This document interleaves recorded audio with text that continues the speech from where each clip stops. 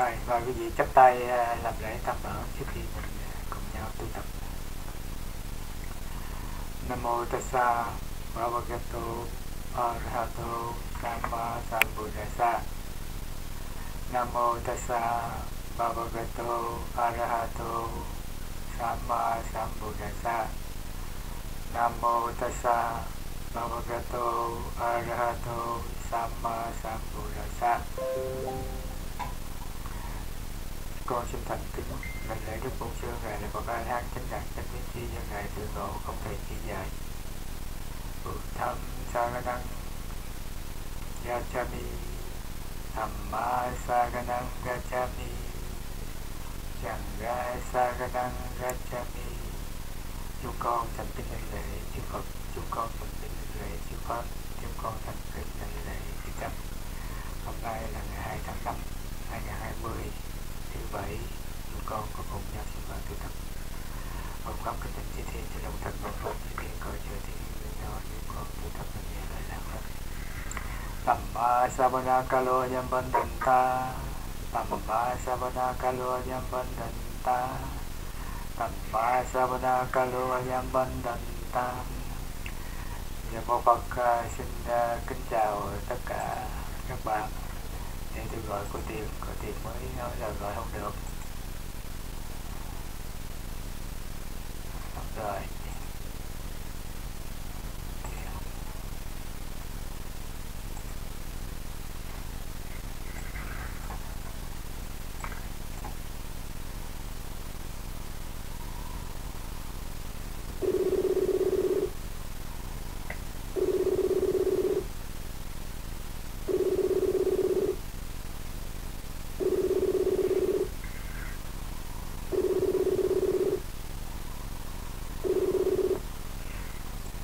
Rồi, có tiền nghe được chưa? Dạ, ạ. Bữa nay sao mai mai đi không thấy uh, lên tiếng gì hết trơn gì điện À, để con nhắn cái ngủ quên. Dạ, chú có gọi mà không có thấy lên tiếng. Chắc ngủ quên rồi. Thứ bảy à, kêu kết bạn với người với người khác mà cũng không có kết bạn là tự bỏ vô cũng không được nó mới khổ Dạ, chờ chút xíu.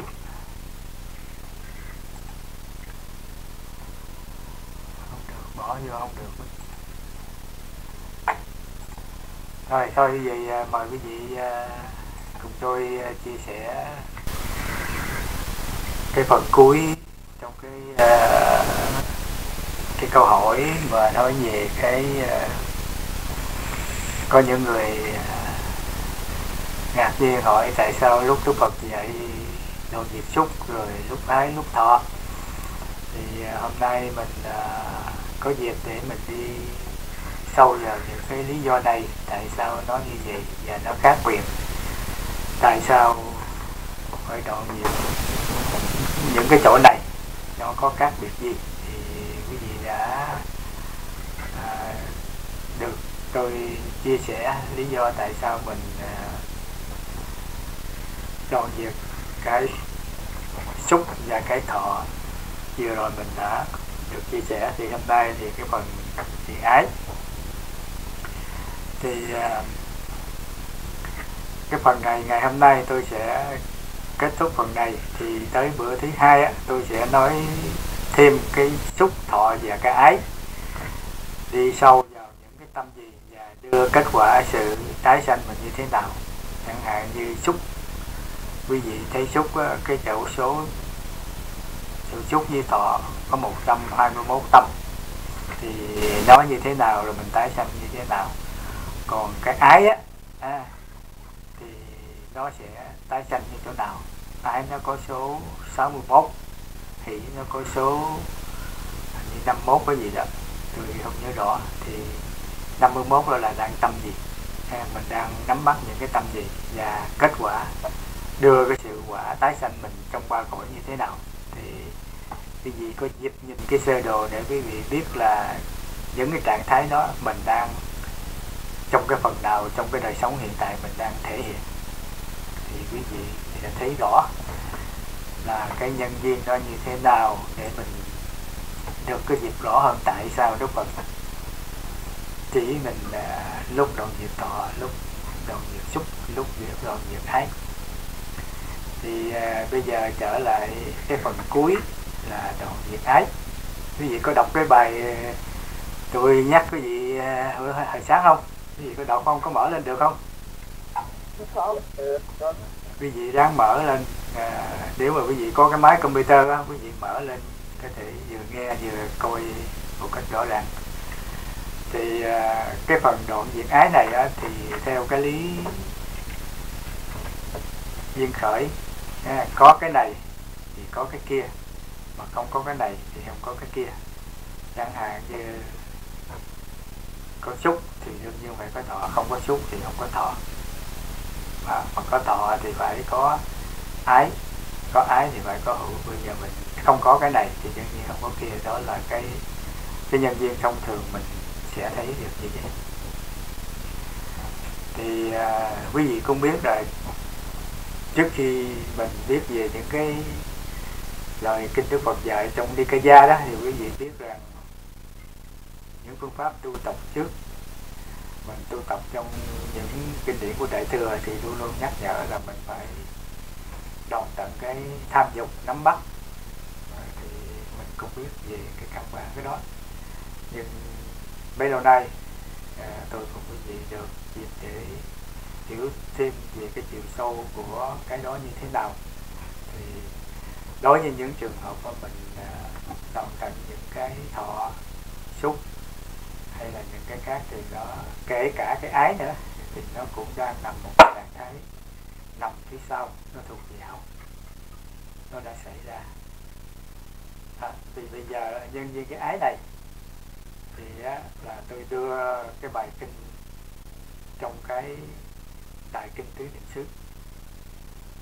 Để mình nhìn thấy cái ái này phát triển chỗ nào, thì nếu mình nhìn rõ sâu vào cái khổ tập nghiệp đạo á, thì tôi cũng xin nhắc lại người nào có tu thiền, thì quán về cái pháp á, thì đây là cái tuệ quán. Còn thông thường mình nhìn đoạn tận cái ái, thông thường ở ngoài đó, là nó có cái chiều, nó tập, nó thuộc về hậu hậu tập và qua cái sự trình bày của kinh thứ thánh đế này thì quý vị cũng đã nghe ngày mấy tuần trước. Tôi cùng chị Nga chia sẻ liên hệ với khổ tập nhiều đạo. Thì đây là một cái dịp có gì nhìn sâu vào ngay chỗ phát xuất cái ái. Đó, lý do đó tôi trình bày quý vị đó là cái ái mình có nhưng mà cái chỗ nào phát sinh cái ái là ý tôi muốn nói quý vị mình muốn đoạn diệt cái ái. À, thì cũng được nhưng mà mình à, nếu mình biết cái chỗ xuất xứ của đoạn tận cái ái đó thì mình làm nó kết quả. Phải không quý vị? Chẳng hạn như quý vị bệnh rồi đi bác sĩ thì nó thuộc về hậu rồi. Mà quý vị ngăn người trước thì cái đó là là vấn đề là mình cần phải làm trước. Mình phải ngăn ngừa những cái đó xảy ra thì cái phương pháp của tứ thánh đế này cũng đưa cho quý vị nhìn thấy cái phương pháp rõ ràng.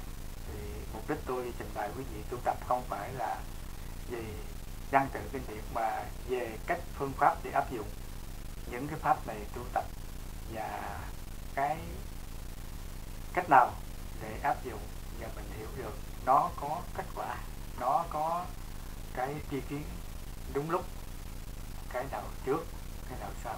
Chi kiến ít nhất là, là mình thấy được thiện pháp. Và cái thứ hai á, thấy được điều nào làm trước điều làm sau. Và nếu mình biết được như vậy đây là thiện pháp không có tài kiến đây là điều trước điều sau điều không cần làm thì mình đặt ý như lý thì mới thành tựu được. Đó là cái chìa khóa.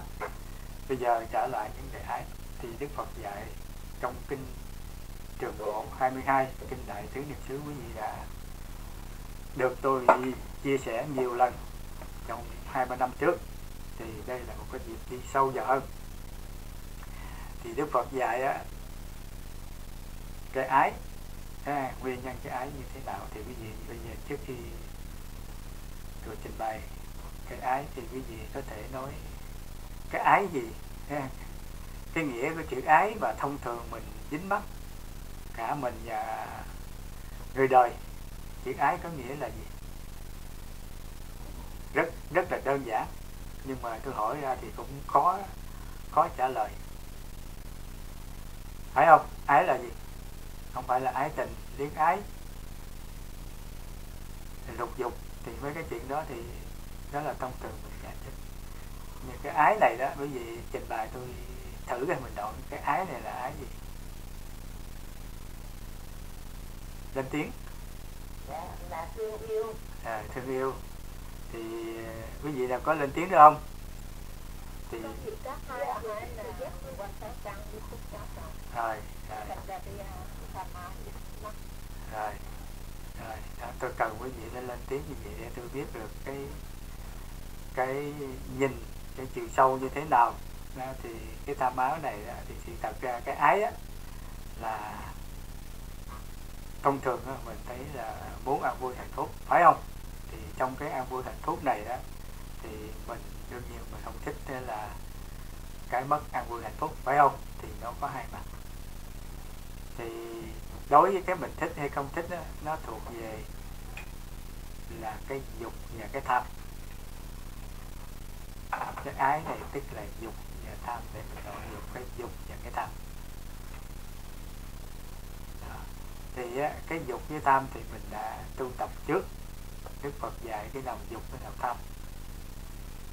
À, dục á, là mình đang thừa hưởng tất cả những an vui hạnh phúc nắm bắt tất cả năm dục tự dưỡng nhưng mình còn mong muốn ngày mai có năm tới có có cho người này có người kia. Rồi mình còn thậm chí ban ra một cái cõi khác nữa thì cái đó là thuộc lợi là tham dục và tham. Chính vì cái dục và cái tham này đưa đến có cái hữu. À, thì cái ái này có nghĩa là mình đang sống với dục và mình có sự muốn có nó liên tục có nó và có nhiều hơn. Và thậm chí khi từ giả cơ ra này mình cũng có muốn làm dốt đến ra cái tội khác kể cả làm gì thì bố thí đúng dường tất cả điều đó nó cũng còn một cái tập khởi mà nếu có cái đó thì đương nhiên phải có cái hữu thủ và hữu. Cái gì đồng ý phải không? À, thì á, bây giờ mình mới biết rằng cái ái này nó là nguy hiểm. À, thì qua cái sự trình bày đó, mình thấy nó là cái đưa đến cái sự tái sanh, đưa sự nắm bắt đưa sự đấu tranh, đưa sự đến có thể xô sát thì đó là một cái hình thức quý vị cũng chấp nhận là cái khổ. Phải không? Mình khổ, sanh già bệnh tử nó là đương sanh là phải có. Mà bây giờ mình hiện tại cũng chỉ cần mình thấy vui nhưng mà ăn vui phúc nhưng mà nó cũng khổ đủ thứ khổ trong cuộc đời quá khứ và bây giờ hiện tại mình cũng đang khổ đang đối đầu với cái chết đối đầu với bệnh tật đối đầu với tất cả những mình ái được ly khổ bất tự nguyện quán tật nội khổ và tất cả nó đều là ngũ uẩn khổ. Thì chính là cái ái à, dục và tham này. Thì giờ cái dục cái tham này nơi đâu mà nó phát sinh thì có một chị nói là do cắt căn à, thì cái bài kinh trường bộ này á là bài kinh số 22 đại kinh thứ niệm xứ. Đây là một cái phương pháp thiền quán nói về trí tuệ. Thì á, Đức Phật dạy đi sâu vào cái căn bản là sự nắm bắt của mình là, là phát sinh từ sáu cái cửa. Nếu mà không có xâm nhập vào cái cửa những cái cấu quế như mấy bữa trước mình trình bày qua cái cái phần 12 nhân viên á mình thanh lọc từ từ xúc thanh lọc bớt à, thọ bớt ái bớt hữu bớt thủ bớt ái thủ hữu bớt à, thì tới cái sanh á, thì mình sẽ sanh vào một cái cõi nó tươi đẹp hơn nhẹ nhàng hơn. Thì mình phải thanh lọc từ từ không có cách nào mình chọn việc ngay cái xúc được như lúc đầu quý vị còn nhớ có khi nào mình đoạn diệt hết cái xúc không? Chỉ bậc a la hán thì chính vì cái xúc đó là sáu cái căn này mở cửa cho xâm nhập những gì đó là dục và tham, phải không? Mình phải nhìn cái cái cái tiến trình của nó đi một cách rõ ràng như vậy thì mình mới lý do tại sao Đức Phật dạy xúc và lý do tại sao Đức Phật dạy cái ái ha. cái ái này do cái sự xúc trước, ha. có cảm thọ và do cái ái thì cái ái này đó là sự dục và tham dục và tham này mình mới phân ngược lại thì đó là do cái sáu căn tiếp xúc, sáu trần thì Đức Phật dạy nguyên nhân cái ái này Đức Phật dạy cái phương pháp đoạn diệt cái ái thông thường thì mình đã tu tập qua những cái bài kinh trước đó, thì đó là nguy hiểm có này kia nọ thì mình phải đoạn thật ha nắm bắt cái gì đó là hoàn toàn nắm bắt trong người đó là một cái trường hợp nó đi thuộc về hậu rồi. Thì đối với những cái người không có tu thiền những cái người không có chuẩn bị trước thì dùng những phương pháp này được. Còn người tu thiền tứ niệm xứ thì phải nhìn trước. Có một cái nhìn xa hơn thì đức phật dạy đầu những cái ái á. Nhân thì phải nhìn chặn ngay cái cửa đó. Cái cửa xâm nhập vào cái phiền não. Và nên nhớ là mình đoạn tận cái cái cái cái xâm nhập vào đó, tức là mình đoạn gì cái xúc. Đó. thì bây giờ mình có dịp để nhìn rõ hơn Đức Phật dạy cái ái nó từ cái chỗ nào. Thì đây là cái bài kinh mà tôi đã trình bày quý vị mấy năm trước.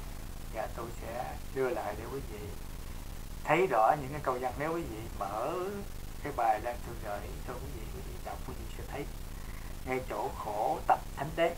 Khổ tập đó là cái nhân. Nó tụ tập lại nó làm cho mình một cái khổ.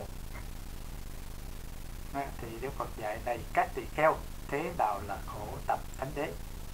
À, khổ tập thánh đế có nghĩa là cũng là cái nguyên nhân để làm cho mình khổ. À, sự đoạn sự tham ái đưa đến tái sanh. Phải không? Câu hữu à, với hỷ và tham. Tìm câu hỷ lạc chỗ này chỗ kia. Như dục ái hữu ái vô hữu ái. Tức là cái tập khổ này à, nó sẽ đưa cho đến mình cái tham ái. Đã mình trình bày đó là tham dục là do cái câu hữu tức là nó khiến cho mình có để được quan hỷ, để được mong muốn có. Hiện tại và có nhiều hơn và trong tương lai, kể cả khi mình chết của mình cũng muốn mang theo một cái cõi nào cả. Tìm cầu hỷ lạc là lúc nào cũng đi tìm cầu hỷ lạc chỗ này hay là chỗ kia.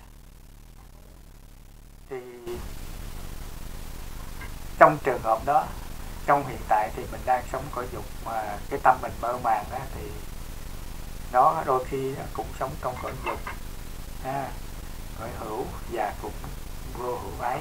Nhưng mà tới khi mình bỏ sát thân này đó là cái nghiệp nó đưa mình à, qua trong ba cõi luân hồi.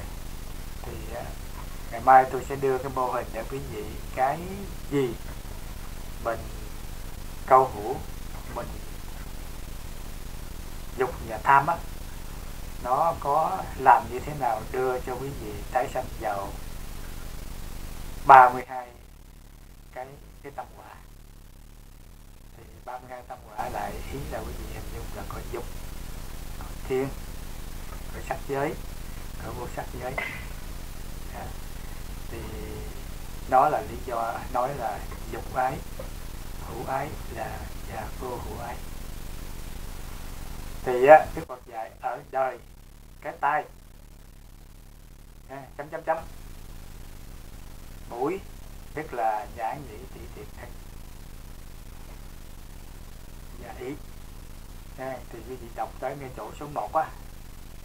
À, ngay chỗ số 1 viết phía dưới bỏ mấy hàng quý vị thấy là tôi rút ngọn cái câu văn lại.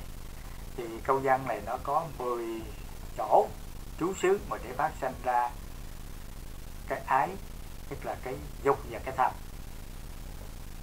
Tức là con mắt nhãn nhĩ tỷ thiệt. À, thì ở đời trước á sắc thanh à, mắt nhãn nhĩ tỷ thiệt thân. Ý là sắc thân ái. Chỉ sắc thân ái đây có nghĩa là nó là một cái sắc pháp là một cảnh sắc cảnh sát luôn. Quý vị nên nhớ cảnh sát không phải là hình ảnh không cảnh sát là thanh niên bị xúc và pháp.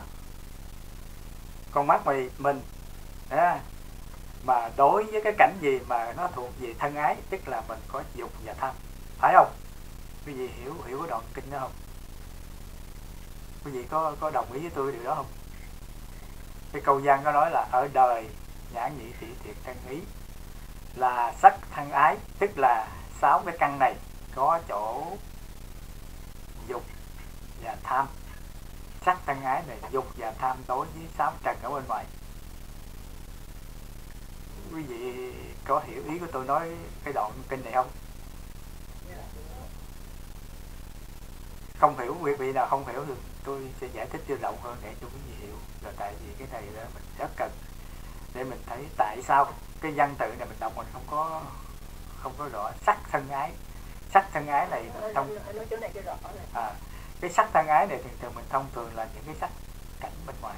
Nhưng mà cái sắc thân ái này đó là cái sắc pháp gồm có sắc thanh hương vị xúc và pháp. Cộng thêm chữ thân ái đó là cái dục và cái tham. Con mắt mình sáu cái căn tiếp xúc sáu cảnh ở ngoài mà mình có dục và tham tức là sắc sắc thân ái mình phải hiểu câu văn tự như vậy mình mới hiểu rốt ráo còn không thì không có hiểu nổi. Cái gì có có nắm vững cái phần đó không? Dạ chú. À. Tham à. Đúng rồi sao nữa? Đó, đó thì cái nghĩa đó vậy. à, cái sắc thân ái này đó tức là nói cái cảnh sắc bên ngoài sắc cảnh sắc này không phải là một cái hình thức màu sắc hình tướng mà sắc này nó là là một loại cái sắc ổn sắc thanh hương vị xúc và pháp. À, tức là đối với hình ảnh bên ngoài đối với âm thanh đối với mùi hương đối với vị ăn đối với thân trụ chạm và đối với cái pháp mình ưa hay không? Hay không ưa không thích?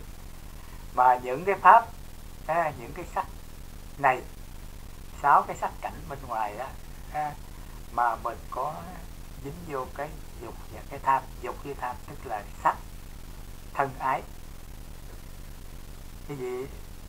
Có có nắm vững rõ cái phần này không? Ý ý như nói như này là ví dụ anh tập nắm từ thứ sáu cảnh bên ngoài. Nhưng mà mình có dính mắc một cái phần nào trong cái sáu cảnh đó thì ngay chỗ đó là bắt cái thân ái, cái cái thân ái tức là cái dục và cái tham đối với cái cảnh đó. Dính cái cảnh đó, một con mắt mình nhìn cái cảnh bên ngoài mà mình có cái tham à, cái dục và cái tham, đó là gọi là sắc thân ái của cái cảnh. Cái mùi hương thơm à, thì mà mình có cái chính bắt à, thì cái mùi hương đó, thì nó gọi là cũng là sắc thân ái. Mùi hương cũng là một cái sắc ẩn phải không? Đó, nó cũng là gọi là sắc pháp rồi cả cái âm thanh quý vị nghe một cái người giọng ca hay một người đứa con thân yếu hay một người thân thương nào. Thì cái đó là âm thanh nhưng mà nó đức phật gọi là sắc. À, nó cũng là sắc thân ái. Mình thích cái tiếng đó thích cái lời nói đó thích giọng ca hay là âm thanh gì đó thì cái đó là cũng gọi là sắc thân ái Rồi tóm lại là qua cái cửa dính cửa nào dính cửa nào đều gọi là sắc thân ái. nhưng mà mình đọc văn tự mình không hiểu rõ chỉ sắc thân ái mình tưởng là cảnh không? Phải không? Dạ. còn cái thân ái này mình tưởng là người thân mình không phải. Sắc thân ái là dục và tham. Nếu quý vị hiểu rõ cái câu văn tự một cách rõ ràng như vậy thì quý vị mới thấy nắm vững được cái hiểu kinh đó thì mới là chân thật sắc thân ái sắc khả ái sắc tham ái. Thấy không? Quý vị thấy một loạt không?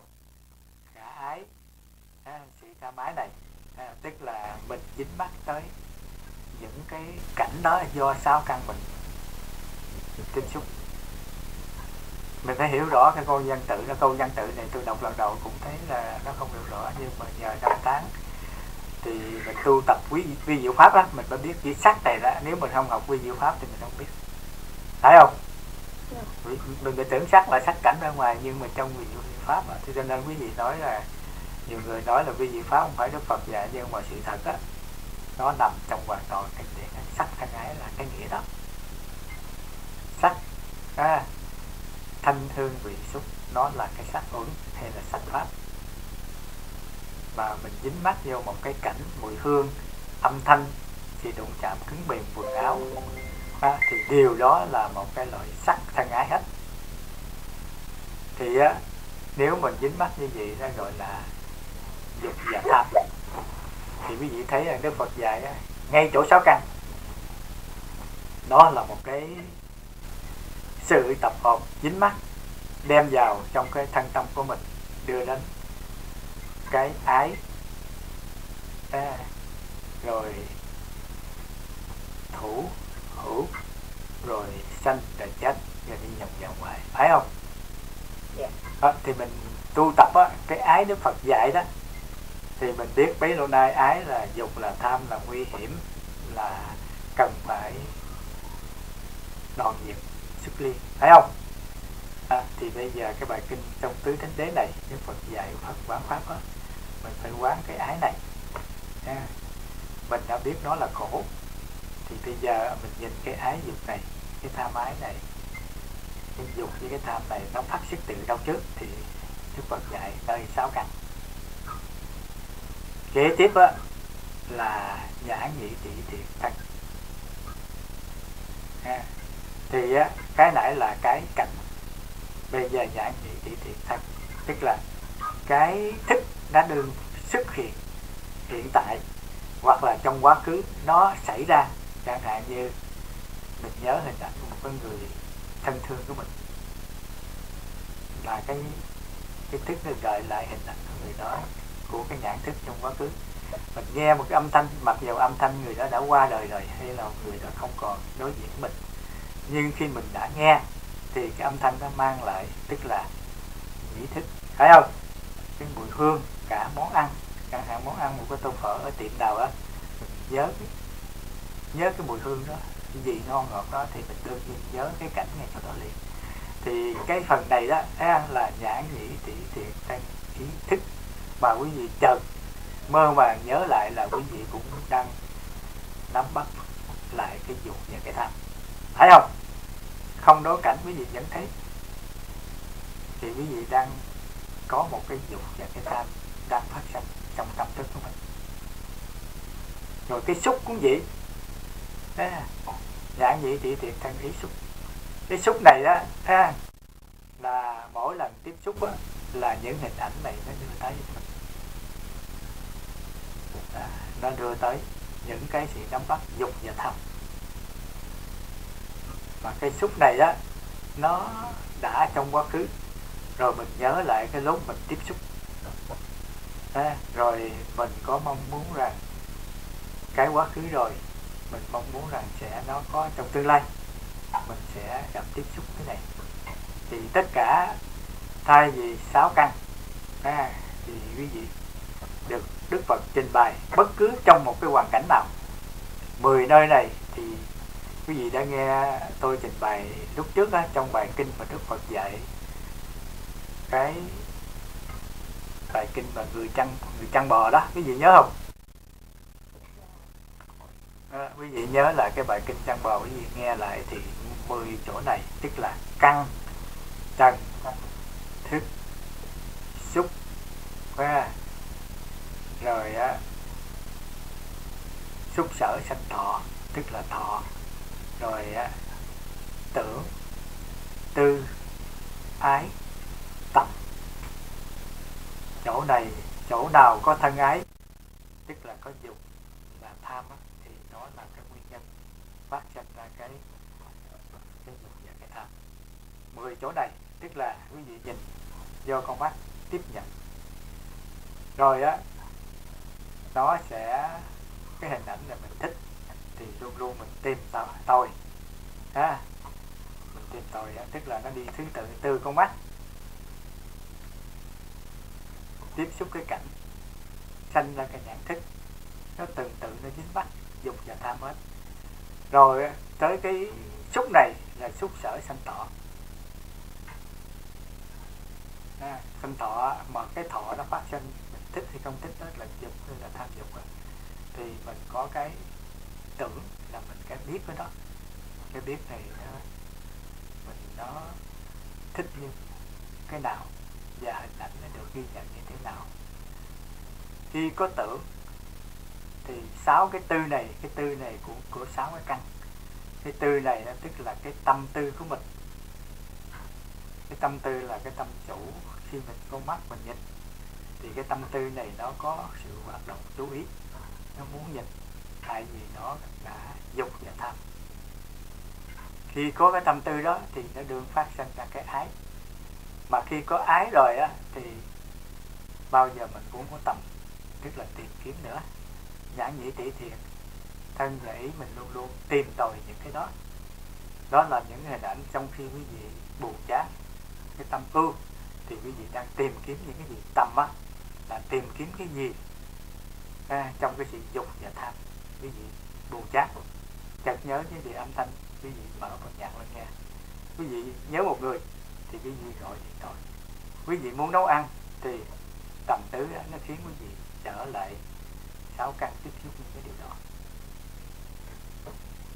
À, rồi tới tứ tầm tứ là cái gì cho nên đức phật dạy trong bài kinh mười mười pháp chăn bò này là tức là đây là những cái hình túc đưa lên cái dục nắm bắt mà mình đang sống và tăng trưởng cái dục của nó cho nên đức phật dạy khi mà con mắt mà nhìn mình phải biết cái chỗ dục và tham nó đang phát sinh khi cái cảnh à, nó gợi cho mình hình ảnh nào thì nó cũng là sự tham dục ừ, cả một cái quá khứ giờ nó gợi lại cũng hình ảnh tham dục mà khi mình đụng chạm bất cứ một đụng chạm một cái gì giãn căn thì mình biết đây là một cái sự tham dục.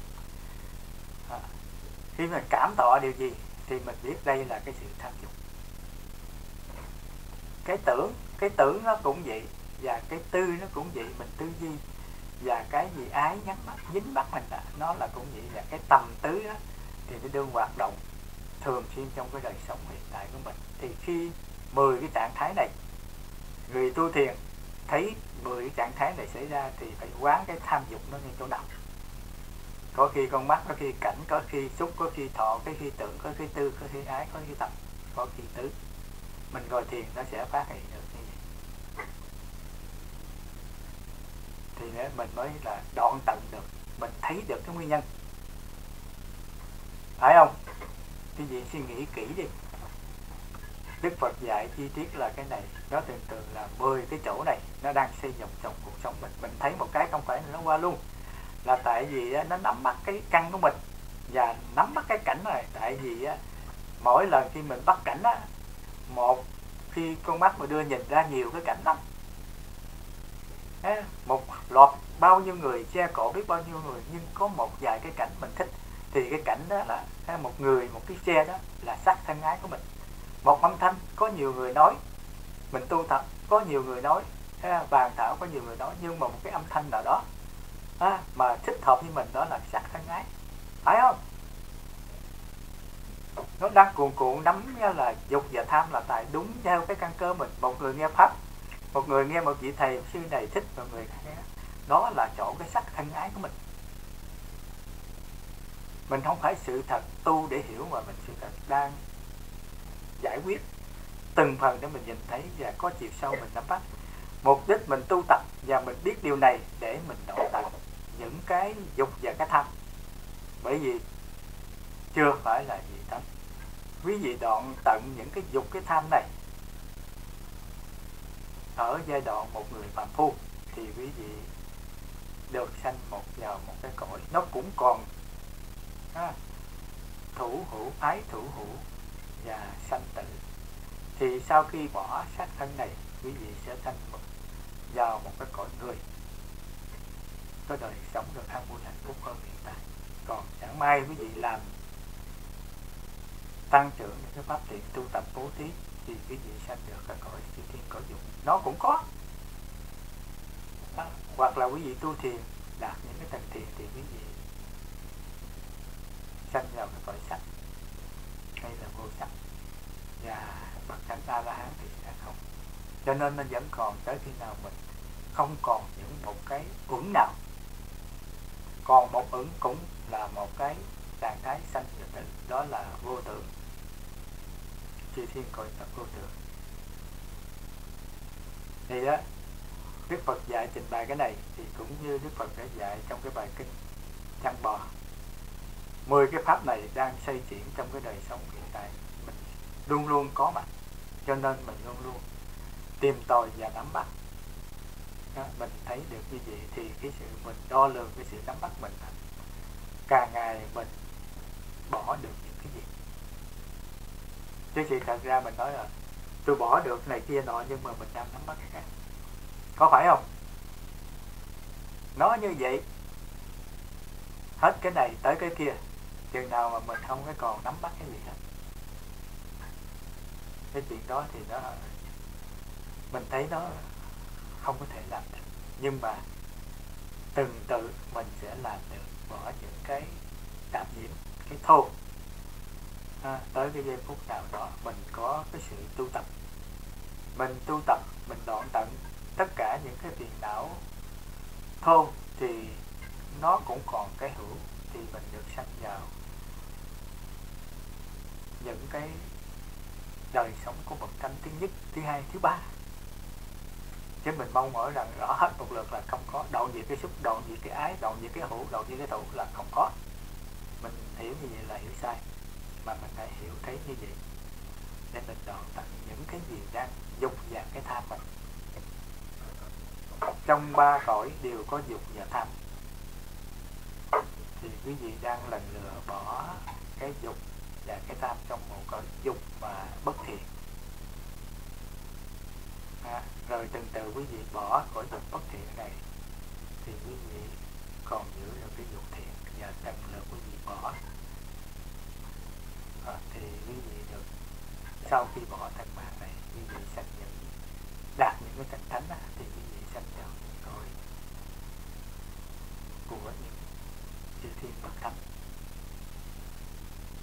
Thì á tôi trình bày về cái ái nó là như vậy. Bây giờ cái tập á, thì nó đi ngược lại. À, cái cái cái cái tập nó là tập khởi nó vậy. Bây giờ cái việc á thì mình cũng nhìn thấy 10 cái chỗ như vậy mình phải, khi mà thấy nó nó phát sanh tham dục thì mình biết là mình dừng trở lại. Mình buông bỏ, nó bớt. Mình phải buông bỏ bớt. Mình phải nhìn ngay chỗ đó thôi, chẳng hạn như mình nắm bắt một điều gì mà mình đang có dục, mình đang có thọ hưởng, thì mình bỏ bớt cái cái mong mỏi còn mình nếu mà còn mong mỏi á tức là mình muốn có nhiều hơn. Phải không? Cái gì nghĩ kỹ rồi bây giờ bắt cái gì suy nghĩ cái gì cái gì thích? Cả cái ăn cái gì ngồi ăn? À, mà quý vị ăn xong rồi thấy ngon quá quý vị không có để ý với quý vị tu thiền mới thấy là quý vị ăn thêm một miếng nữa là quý vị biết rằng mình đã tham rồi. Quý vị có khi nào thấy được cái điều đó không? À đó. Đó cái đó đó là mình thấy mình đã dùng. mình chỉ thí, thí dụ những cái cái cái cái nét đó để mình biết là cái dục và cái tham nó đi liên tục như vậy. Mà mình cái người nào mà tham nữa tức là mình muốn ăn cái món nữa rồi là có cái sự mong muốn là phải về nấu nữa hay là tìm cách nữa giới thiệu người này giới thiệu người kia hay là mang về nhà cho người thân của mình hay chỉ người này người kia tức là có cái sự mong mỏi phải không? Dạ. quý vị làm bất cứ chuyện gì quý vị cả gia đình những cái chuyện gì để làm cho người thân thương của mình đều có hết nhưng mà cái khác biệt của người tu tập được á là cái chỗ nó bớt. Bớt cái tham bớt cái tham tức là bớt cái mong muốn. Còn không quý vị mong muốn là có nhiều quý vị làm có tiền là muốn nữa phải không ngày hôm nay tôi tháng này tôi làm dư ngàn tháng sau với hai ngàn. Đó, tháng cuối năm là 12 ngàn tính số chẵn không phải không? Còn phải làm thêm nữa nếu mà tôi làm thêm nữa là tôi dư nữa. Phải không? Đó, mình dục sống với dục nhưng mà mình không có tham là mình chọn tận cái tham. Chứ không phải mình không có dục nha người tu cũng có dục. Có dục muốn tu chứng những cái này chứng cái kia là có dục nhưng mà cái dục nó làm cho mình dục thiện. Cái, cái phát thiện thì à. cho cái tiếp tục cái nhưng mà dục thiện này đó nó cũng là cái dục cho nên tái sanh về một cái cõi hữu hoặc là là vô hữu hay là vô sắc giới đó à, chỉ chỉ khi nào đạt những tầng thiền thì cái đó đó thiện á thì mình người tu tập á muốn mong được pháp thiện thì đạt được những cái tầng thánh như vậy luôn đoạn được ba kiết sử rồi ba, ba kiết sử này mà mình tham mình vẫn giữ gì hoài đó thì đâu có được nữa. Hai cái kiết sử nữa phải không? Tối đa là bảy lần. Nhưng mà mình nhờ lần được cái người, người đắc được cái dự lưu ở này đó thì cái sự tham và dục của họ đã cái bậc đó đó dễ tiến tới một cái bậc nữa để thành nhất lai rồi bất lai rồi quả a la hán. Khi mình làm từng tự như vậy cũng như mình bây giờ bây giờ quý vị, tôi cùng quý vị lúc trước chưa tu thì khác, phải không? Tham muốn này kia nói năng gì cũng muốn hơn người, hay là à, gây gỗ. Người ta nói nặng mình cái gì mình cũng có nhịn được. Mình tranh cãi nhưng một thời gian sau mình tu tập thì cái dục mình vẫn có, nhưng cái tham không có nói mệt quá. Nó không nghe hoài. Dành dần chi mệt quá. Kệ họ làm gì làm đi. Kệ mình nhiêu đủ rồi. Thì đó là mình đang bỏ cái tham cái mục đích tu tập á, là mình đoạn tận cái ái đó là không phải là bỏ hết. Mình bỏ cái tham. Thì mình mình nhìn cái chiều hướng đó thì mình dễ tu không? Chứ nói họ cắt ly gia đình. À, tiền bạc không có hay là không ăn hay là kia thì nó cực đoan quá. Không phải nữa phải không có giải gì. Thì theo tương ưng với hoàn cảnh của mình mà mình đoạn tận cái tham mình đoạn cái tận cái tham tức là mình đang mất dần cái dục phải không? Quý vị ăn hồi nhỏ ăn năm chén bây giờ già cả ăn năm chén chắc chết luôn ăn hai ba chén. Bước lại ờ thì mình không có tham thấy không? Đó. mình thôi đó bây giờ lúc trước quý vị đi tu tập bác quan trai đồ ăn về nó mang ôi tục lum hết trơn hết rồi. Bây giờ quý vị thấy thôi gô này kia giờ quý vị ăn tiệc nhà hàng này cũng vậy những cái hình thức thô đó mình thấy mình bỏ phải không? Tu tập là nó đơn giản tức là mình phải nhìn cái chỗ đoạn tận ái đó ha. Thì đoạn tận cái tham ái dục mình vẫn còn. Nhưng mà khi mình đoạn tận cái tham đó tức là mình tự nhiên là đoạn tận cái cái dục đó. Những gì suy nghĩ kỹ đi phải không? À, cái là cái ái đó dục nói chỉ cái ái này đó là quý vị nên biết rằng cái ái này có hai cái tâm sở. Thì tới thứ hai tôi sẽ trình bày quý vị ái này có hai tâm sở một cái tâm sở hỷ và một cái tâm sở dục. À, tôi sẽ trình bày à, mỗi cái tâm này à, bên cái tâm vương á, nó có những cái tâm nào. À, chẳng hạn như cái tâm dục á, nó 61 cái tâm. Tâm ái á, thì nó có tôi không có nhớ hình như nó ít hơn. À. thì khi mà có một cái đó, đó là mình đang cái tâm mình đang sống trong ba cõi nó nằm ở chỗ nào? Cõi thiện bất thiện cõi dục có cõi thiện chư thiên có cõi thiện của của sắc giới và của sắc nó có nằm ở chỗ đó hết. Để mình nhìn thấy cái sơ đồ của diệu tháp để mình thấy mình biết là mình tu tập quy diệu pháp để mình biết là nó đang thể hiện trong một cái tâm nào. Bất thiện hay là thiện cái tâm tốt hay là tâm không tốt đẹp. Nhưng mà cái tâm tốt này có có tham hay không? À quý vị nhìn thấy vậy quý vị mới đoạn tận được. Chứ quý vị, tôi hiểu quý vị là đa số những người tu tập hiểu được thiện pháp bất thiện pháp. Nhưng mà không hiểu rõ được những cái chiều sâu của nó. Mình tu tập mình không có, tôi như như tôi không có trình bày quý vị cái dục với cái tham này đó thì quý vị đoạn tận quý vị cũng hiểu làm nhưng mà không không có rõ. Nhiều khi mình làm không được là tại vì mình không có biết. Mình đang làm đúng nhưng mình không biết. Và nó có nhiều người là họ làm sai. Thì nói là đức phật dạy đừng có tham ái. Đừng có này kia, đừng có xúc, không phải.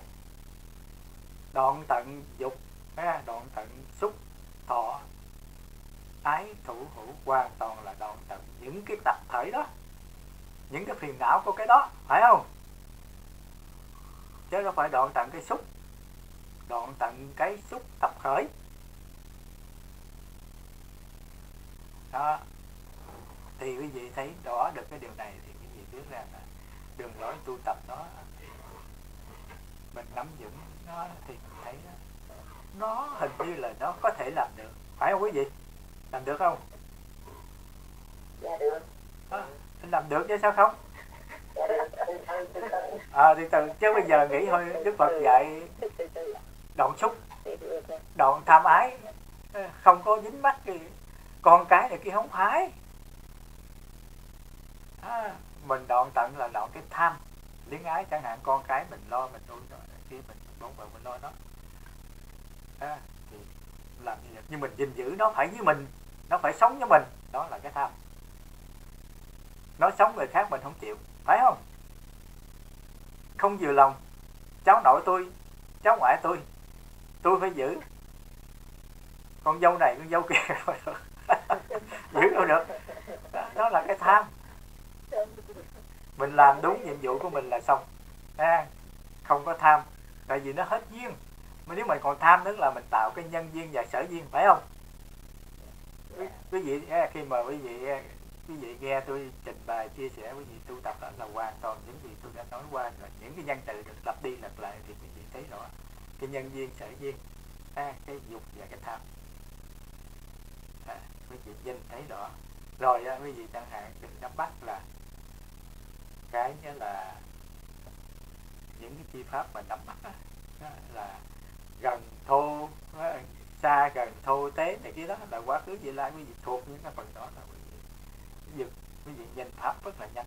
Quý vị không còn nhớ những cái gì ờ, ở đó nghĩa nghĩa gì quý vị đã thuộc lòng với nó đó và quý vị đã cứng đâm sâu trong cái cái cái cái, cái, cái tệ quý vị rồi quý vị buông bỏ rất nhanh còn không quý vị ngỡ ngàng.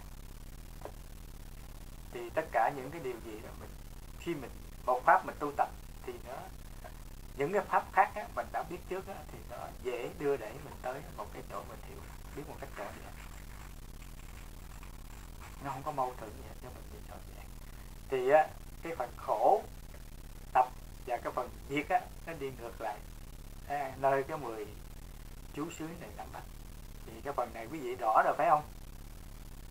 Rất rõ không có tôi nghĩ là quý vị nắm chuyện hết.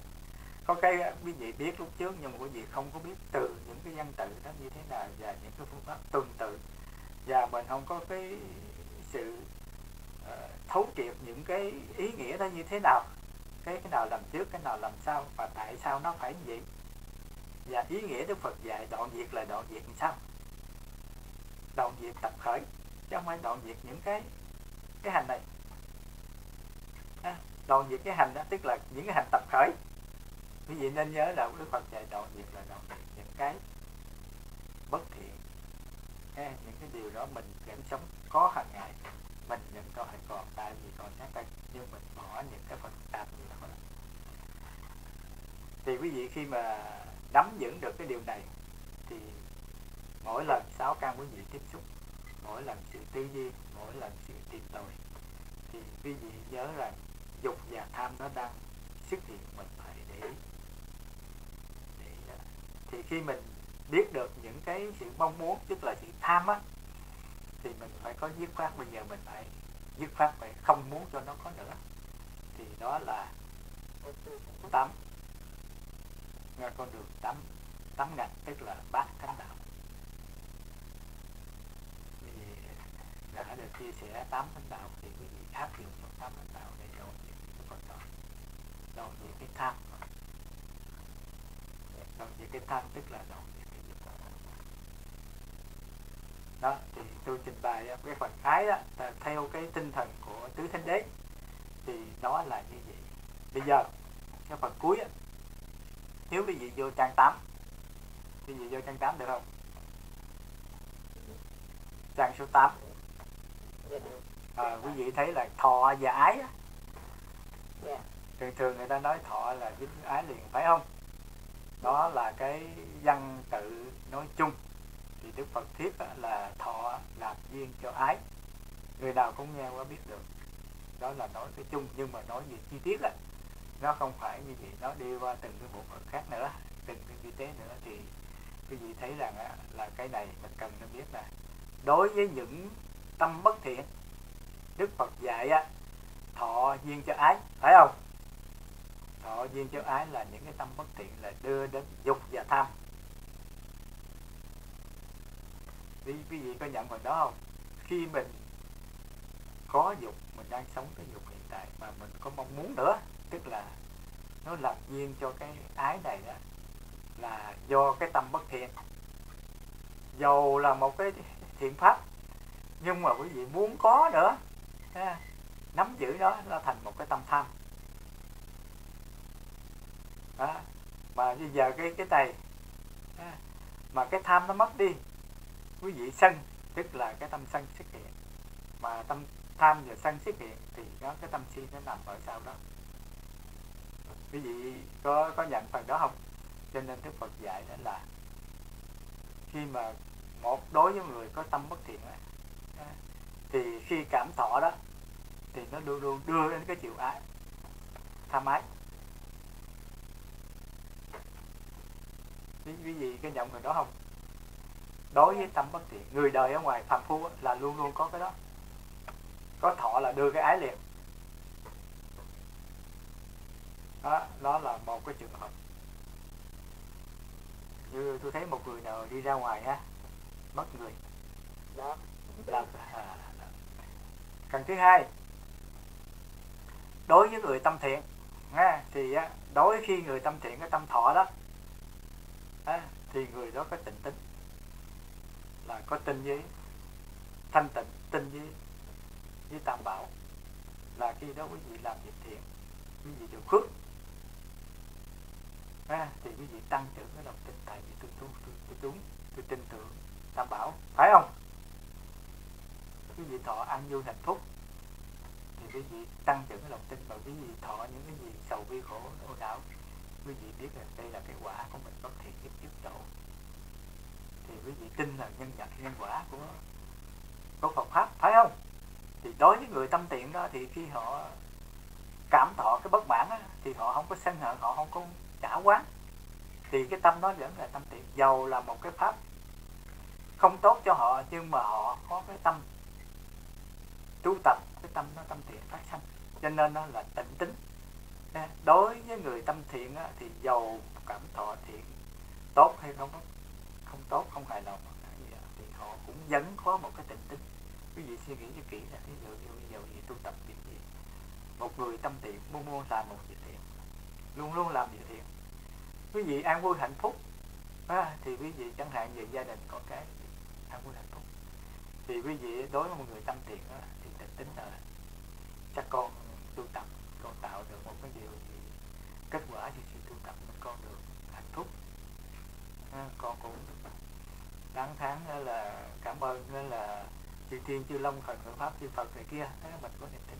Bây giờ nó ngang trái mình tu tập mà mình thấy ngang trái gì biết đấy mình là tâm thiện thì mình nói đây là cái quả. Thì bây giờ chắc là tại vì cái quả tôi phải trả thôi. À, mình phải tu tập nữa cho nó qua thì mình lại tăng trưởng cái lòng tình tính với với tam bảo. Phải không? Quý vị có nhận phần đó không? Yeah đối với người tâm thiện là như vậy.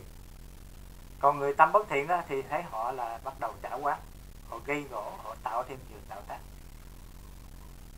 À, thì đây là cái phần tâm thiện và bất thiện đối với thọ. Đối với tâm bất thiện đó, khi mà thọ đó ha thì tốt á, thì nắm là tham ái mà tham ái có nghĩa là sân hận. Còn cái người tâm thiện á thì giàu tâm tốt cái cái pháp thiện pháp tốt hay là pháp bất tốt? À, những cái chướng ngại gì đó họ cũng bằng lòng an vui là họ tại vì họ tin tưởng. Nếu đời an vui hạnh phúc hiện có thì đây là cái phước báo của mình đang tu tập có. Tăng trưởng lòng tin tấn mình tu nữa. Còn nếu mà cái quả nào tới xấu á, là mình biết là đây ô tôi trả quả. Trả bữa nay thì ngày mai hết. Trả tháng này thì tháng sau hết. Thì mình lại tinh tấn tu nữa thì đối với thiện và bất thiện cái tâm á, một cái tâm bất thiện khi thọ thì luôn luôn dính liền cái ái. Còn một người tâm thiện luôn luôn á đó, phát lỏng lòng tinh tính đối với tam bảo. Còn thọ làm duyên cho hữu á, là đối với năm căn của mình. Khi mình thấy cảnh tiếp xúc ăn uống à, đụng chạm à, tham và dục có thì đưa đến hữu phải không? Cái đó là nãy mình trình bày rồi đó. Hữu tức là có à, tại vì có tham mình muốn có ngày mai ngày mốt nó như vậy. À, hết kiếp này tôi có cái khác nó như vậy. Đó là do năm cái căn tiếp xúc với mình đưa vào ý thức nắm bắt cho nên có cái hữu. Đó.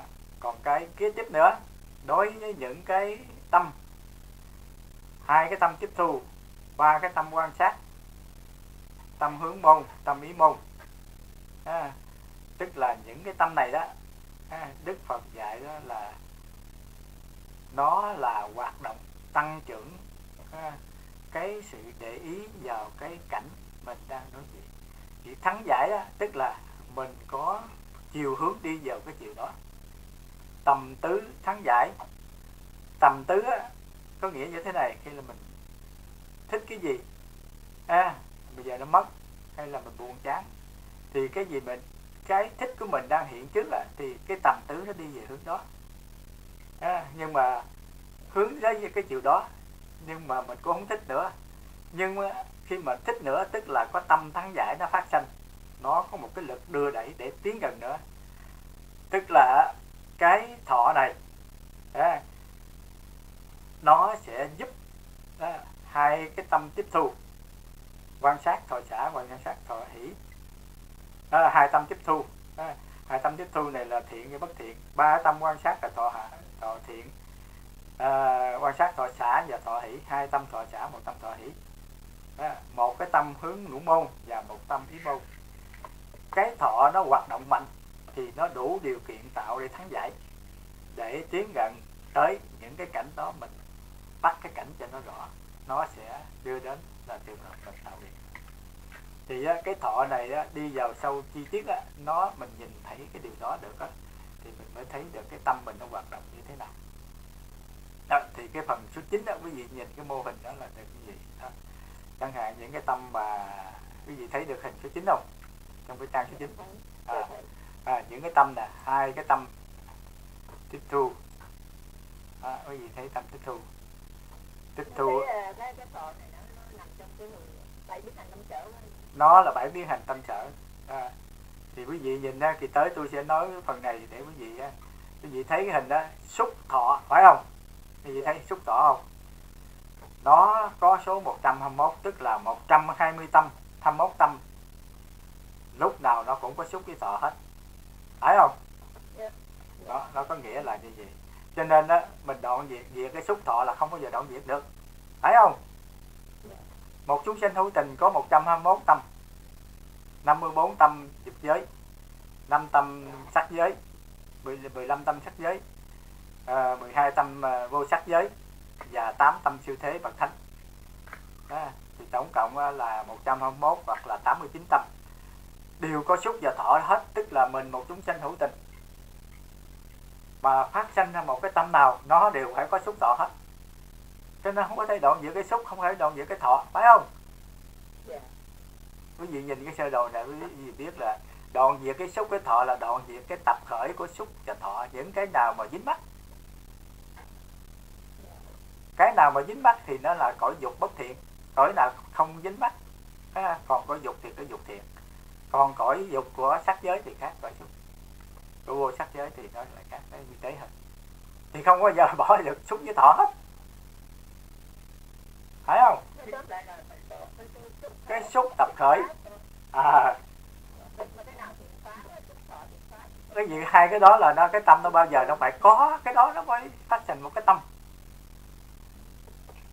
Quý vị tu cũng phải có cái đó, phải không? Cái gì ngồi thiền cũng có đó. Bây giờ quý vị không có sống tọa, sao quý vị ngồi thiền? Thì quý vị hiểu được cái gì pháp hiểu sơ đồ này quý vị biết là không phải cái kiểu mà giết cái thọ đó là giết cái xúc đó. Hay là còn cái ái á à, cái dục cái ái á, thì cái mô hình khác. À, quý vị thì ngày mai à, kỳ tới tôi sẽ đưa cái hình đó để quý vị thấy.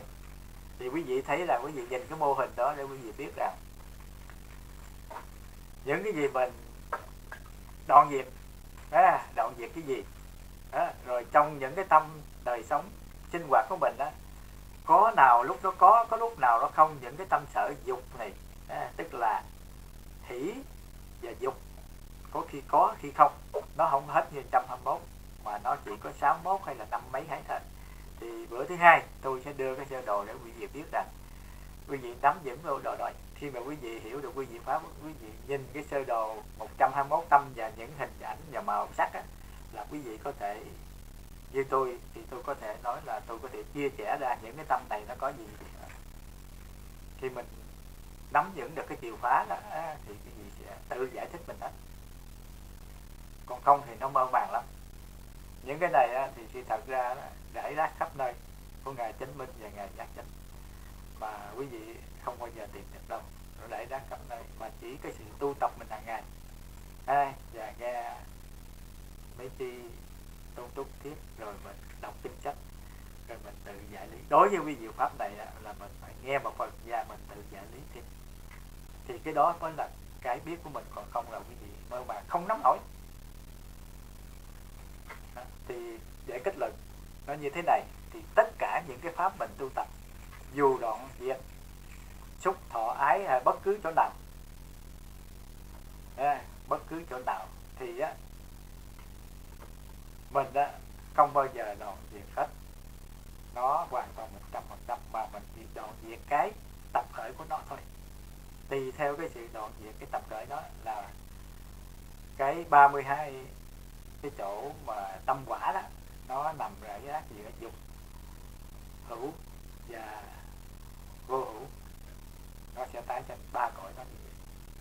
Tùy theo sự mình đoạn diệt những cái cái thành. Thì ờ, quý vị biết rằng tu tập nó có nhiều pháp. Thiền. À, đủ thứ phương pháp thiền. Đủ phương pháp để quân tập tứ niệm xứ. Rồi từ bi hỷ xã những việc làm phước thiện. Tướng nhất pháp 37 phẩm trợ đạo. Tất cả những pháp dạy thì có tên khác nhau và những phương pháp đều khác nhau. Nhưng mà chung quy á à, nhưng mà chung quy á thì là làm sao mình đoạn được những sầu bi khổ nào. Phải không? Chứ quý vị không có nên chấp nhất là mình phải làm phước mình phải tu thiền mình phải thành cái này. Phải tu tứ vô lượng phải tu bi từ phải tu bi đa số là người ta có quan niệm phương pháp đó. Phải làm này làm kia. Thì tất cả những phương pháp đó mình nắm bắt những cái pháp đó.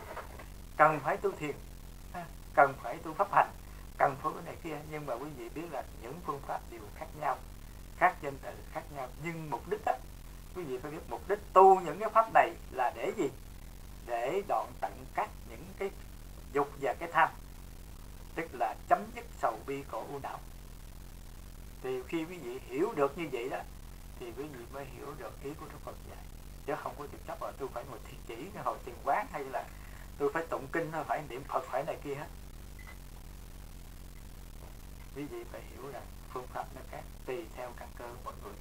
Nhưng mà bất cứ một phương pháp nào quý vị nắm bắt tức là có hữu. Có hữu là còn sanh. Phải không? Yeah. Dạ. thì quý vị biết rằng tất cả phương pháp mà làm sao mình phương pháp mình tu tập, mình giết được cái mục đích cuối cùng là không còn một cái kiết sử nào, không còn chấp một cái ứng nào. Đó là lời Đức Phật dạy, cái ý Đức Phật dạy. Mong muốn là như vậy, chứ không có sự tranh chấp, không có sự phân biệt phải này phải kia. Không có lệ thuộc ai hết. Tôi trình bày quý vị. Quý vị cũng không có lệ thuộc tôi. Bởi vì tôi đưa những cái gì tôi tu tập từ Đức Phật, từ kinh điển ra. Cái hiểu biết tôi cũng là từ đó ra, không phải của tôi quý vị nghe quý vị thích quý vị áp dụng. Quý vị cũng không có so sánh ai hết không cần thiết. Quý vị làm sao đoạn tận được những cái gì quý vị làm đó là một đích mình tu tập đó là mình thấy cái kết quả. Cuối cùng đó là như vậy thôi thì quý vị mới có thể không còn chấp thủ một cái điều gì. Thì hôm nay thì tôi cố gắng à, đúc kết cái phần này đó là cũng đúng giờ thì nhờ quý vị đã nghe thường xuyên quý vị nào nghe thường xuyên thì quý vị nắm bắt được còn không có nghe thường xuyên thì rất là khó là tại vì đứt đoạn. Mặc dù tôi có nhắc đi nhắc lại nhưng mà quý vị khó nắm nắm giữ hết. Thì uh, thứ hai tôi sẽ nói phần cái xúc thọ và cái ái này. À, các tâm đó à, các tâm phối hợp như thế nào đối với ba cái vấn đề này cái xúc cái thọ và cái ái. Xúc và thọ quý vị biết rằng đó là một trăm lẻ một tâm hai trăm hai mươi tâm hay gì đó. Thì tôi sẽ trình bày tôi chỉ lại ngay chỗ mà cái tâm quả nó sẽ tái sanh như thế nào. Còn cái ái này đó nó có hai tâm một cái tâm hỷ và một cái tâm dục. Thì tâm hỷ tâm dục này nó có nhiều nhất là 61 còn chia năm mấy nhưng mà tổng cộng hai cái này hình như là có 72 tâm. Thì á, thứ hai tôi sẽ chỉ rõ quý vị thì quý vị sẽ thấy được những cái tâm này nó xuất hiện phối hợp nó có những cái tâm sở này. À, thì quý vị à, thấy được như vậy và kết quả đưa đến tái sanh như thế nào thì quý vị nắm rõ được là cái chiều hướng mình đoạn giảm những cái, cái tâm này à, những cái xúc thọ và cái ái này nó đưa đến kết quả như thế nào. Và mình thấy rõ được cái phương pháp mình đoạn diệt cái dục và cái tham nó như thế nào thì mình mới có thấy được cái cái sự tu tập mình nó rõ ràng. Và nếu mình thấy tu tập được rõ ràng á, thì mình có thể biến đổi được nó nhanh hơn mình có làm nhanh hơn. Là tại vì mình không có đồng dòng nữa mình cứ tiến tới từng bước một. Phương pháp có từng tự thì mình làm được. Thì à, tôi mong rằng à, sự chia sẻ này quý vị uh, có nắm giữ được phần nào thì từ từ tôi không có đưa liền lên chắc là cũng phải gần một tháng sau mới có xuất hiện. Thì quý vị coi những cái bài cũ để ôn lại. Đó, thì à, tôi mong rằng à, quý vị à, đọc bài ha, rồi quý vị coi tới coi lui. Nhất là có những cái câu hỏi. Tôi không thấy quý vị bỏ câu hỏi nữa. À, thành thử là quý vị nên có những cái câu hỏi hay là có những gì khúc mắc nói với cô tiên. Cô sẽ kết tập lại những cái gì mà nó uh, có cái sự mà không rõ đó hay là cần nói thêm? Đọc nhiều khi nó không có hiểu lắm cho anh giảng thêm thì nó hiểu cái khỏi đọc qua rồi. Đó quý vị thấy rằng quý vị biết lâu nay quý vị quý vị đọc rồi quý vị cũng hiểu quý vị nghe cũng hiểu hết chân hết giờ quý vị thấy khác không? Khác lắm. À, rồi thì thôi thì tôi chỉ nhắc nhở uh, chung nhắc khéo cái phương pháp mình tu tập là cái như vậy đó. Thì nhất là quý vị phải thường xuyên còn không thì quý vị cũng khó khó mà theo dõi được lắm. Nhưng có một cái tôi cũng xin nói là tới bắt đầu tuần tới uh, sau khi chị Trân Nha trình bày hết cái phần uh, cái thánh đế đó tôi sẽ đi lại căn bản đầu những cái bài rất là căn bản để quý vị à, chẳng hạn như nhiều vị không có nắm vững cái căn bản á thì quý vị có dịp ôn lại tương tự quý vị sẽ hiểu hơn rồi. Tôi đi từ từ từ tới những cái bài à, nó sâu sắc lại thì quý vị nên chuẩn bị ha thì những người nào mà không nắm vững cũng nên à, để ý dành cái thời gian để mình tu tập. Mình sẽ thấy được nhiều cái à, mặc dầu nó là những cái pháp đơn giản nó rất là dễ những cái bài rất là ngắn nhưng mà khi tôi chia sẻ ra thì quý vị thấy liên hệ những cái pháp mà nó rất là khó nó rất là sâu chứ không phải là dễ. À, thì cái dễ là, là tại vì mình hiểu theo dễ chứ còn khó. À, thì thôi tôi ờ, nếu quý vị không có câu hỏi thì mình xin ờ, dứt lời cho quý vị đi làm chuyện gia đình. Rồi mời quý vị chắp tay uh, hướng mô phật chúng con xin chia điều phước báo tu tập ngày hôm nay về tỷ tỷ cho trong trần hậu pháp cho thiện cơ cho thiện đồng điều nhau cả thầy chúng con cũng xin chia điều phước báo về tất cả bạn tu tập chánh lai tục ra ngoài hiện tại. Thường lượng phước báo nhân thiên sống lâu an vui hạnh phúc thật tốt trong cuộc sống, có triển kinh tế đồng giảm tiền não. Chúng con xin hỏi phước báo này thì ông bà cha mẹ quá nhà như vậy những kiếp chúng con. Đều quá sắp cõi nào của thượng của báo những tiếng sống lâu an vui hạnh phúc thành công trong cuộc sống. Sống gặp Phật pháp tu tập cho con khổ đau phiền não. Nam mô bổn sư thích ca mâu ni phật. Nam mô bổn sư thích ca mâu ni phật. Nam mô bổn sư thích ca mâu ni